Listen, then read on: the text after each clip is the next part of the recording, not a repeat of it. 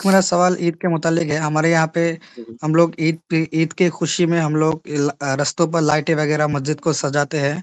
तो कुछ लोग कहते हैं कि ये शरीयत में नहीं है और कुछ लोग इस हद तक कहते हैं कि ये सब फ़िज़ूल खर्ची है और इस इससे किसी गरीब का भला हो सकता है। क्या ये सब सजाना ईद की खुशी में ये सब दुरुस्त नहीं है इस्लाम में?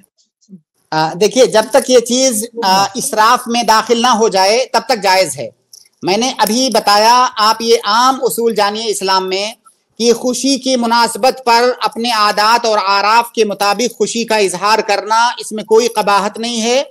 बस वो एतदाल के अंदर होनी चाहिए वो चीज़, वो इसराफ में दाखिल ना हो, फजूल खर्ची में दाखिल ना हो।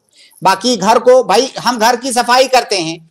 ईद जब आती है, घर की सफ़ाई सुथराई करते हैं, बहुत सारे सामान बदल देते हैं, नए सामान लाते हैं, घर में जो है लाइटें अच्छी लगाते हैं। ये सब एक जो है आ, तरीका है लोगों का खुशी मनाने का।